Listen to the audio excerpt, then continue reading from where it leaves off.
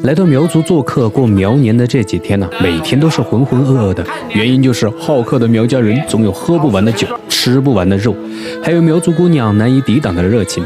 这天一早醒来，大雾笼罩在苗寨的上空，显得格外的美丽。我也在吵闹声中苏醒了过来。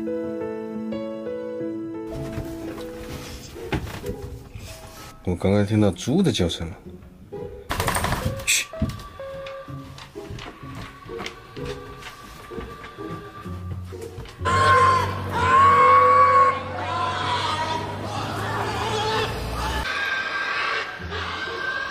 现在到处都是猪八戒的声音，因为今天是送客，然后呢，也就是主人家要把自己的那个养的猪，然后送给客人。昨天是敬客，所以一会儿我们会看到很多客人又从这儿离开的场面。由于这天是客人离开的时候。一早起来，寨子的主人们开始杀猪分猪肉，这是苗族古藏节的一个礼节。客人在离开主人家的时候啊，主人会分给随礼的客人一只猪腿作为回礼。他们现在在分猪肉啊，非常多，感觉像去菜市场。看到这个分下来的猪腿了吗？一条、两条、三条、四条、五条、六条、七条。八条、九条、十条、十一、十二、十三、十四、十五、十六、十七，我数错没有？反正就是这么多，要分给客人带走。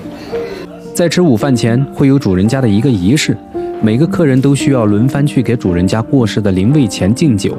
喝完酒以后，主人会给客人一块肉，这块肉名为骨藏肉，会切成一块非常大的、肥瘦相间的五花肉。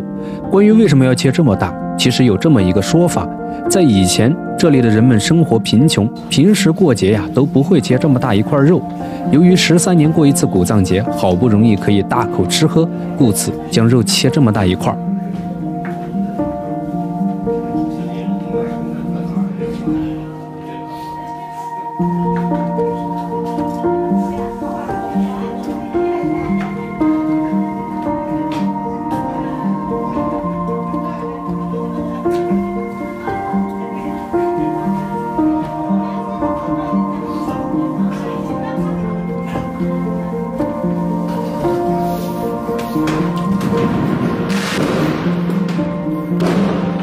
吃。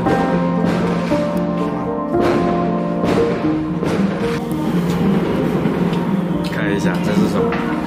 拿了一块肉。我跟你们说，拿这个肉的代价就是，因为祭祀祖先嘛，要先祭祖喝酒。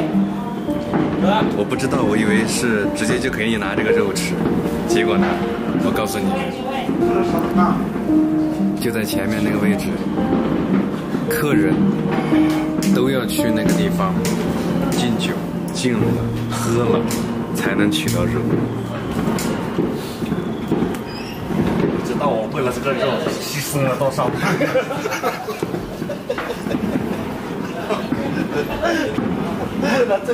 我没喝酒，我没喝酒。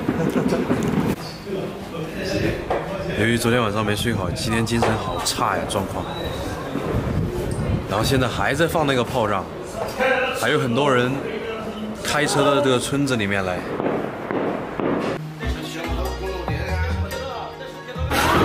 哇这个是什么呀？肥肠。哦，肥肠啊！哇，闻着就这样子，好香啊！大口吃肉，大口喝酒了。又到了吃饭的时间了。然后现在是吃午饭，吃了午饭以后呢，他们客人就要离开这里了，然后就扛着那些猪腿。一会儿这个村寨里面的客人全部要离开，他们都会带着那个猪腿从这儿出发。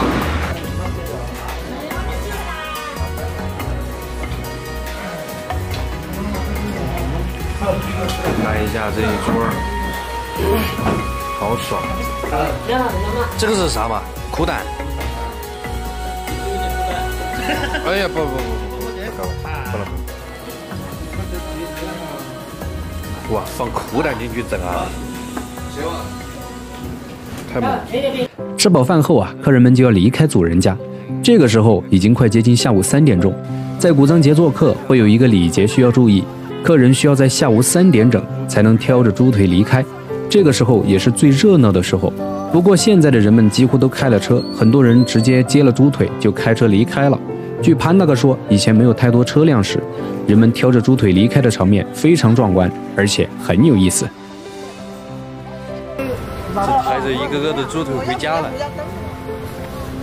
他们做客的回去的话，我也要跟着回去了。来这里喝懵逼了，然后啥也没拍。这是主人家开始分猪腿，然后客人今天离开。现在主人家给客人分好了肉，就是这个猪腿已经分完了，客人就要带着这个猪腿开始出发了。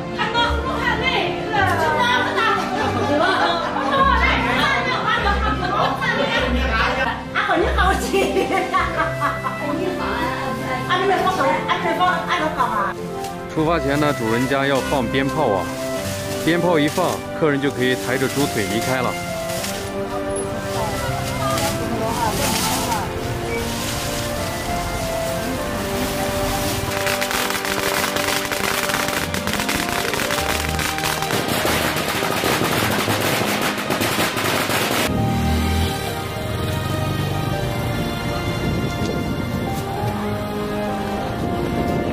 再见，拜拜，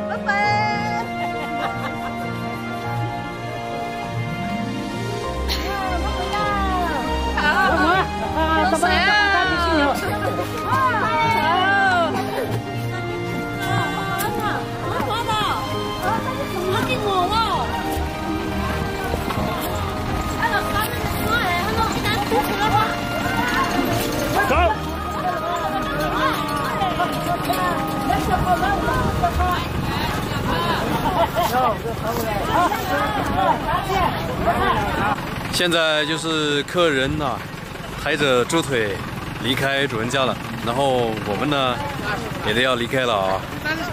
他们离开了，我也得要离开了。我这两天一直都在他们家吃住。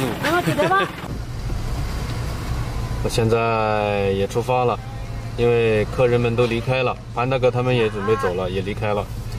我呢在前面的，他们在后面那个车，跟着他们一起出发。在离开的时候啊，我内心其实有很多不舍，不舍的是这里的人们，他们热情友善的待客之道，让我感到非常温暖。当然也有很多遗憾，由于准备不充分，没有拍摄到让我满意的流程，令人耳目一新的画面。不过转念一想，留有遗憾，才让我有了再来一次的借口。旅程就是如此，没有十全十美的故事等着你去拍摄。但愿下一次的古藏节，我能给你们记录下更好的体验。不过，十三年太长，你们会等我那么久吗？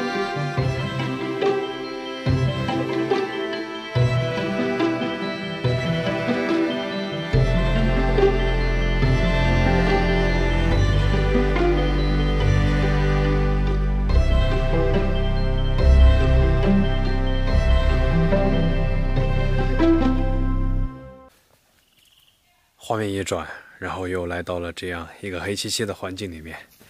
这个地方呢是马料村，我跟着潘大哥回到他们村庄了。然后呢，由于最近他们苗族都在过节啊，有很多很多的活动，我想借此机会再多待几天拍一下啊，然后回到他这边来休整一下。因为视频呢，就是因为这段时间呢耽搁了，没有及时更新啊。咱们今天。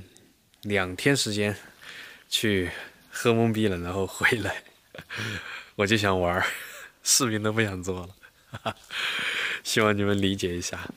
咱们不过后面还是会为大家继续深耕一些我觉得有趣的内容啊。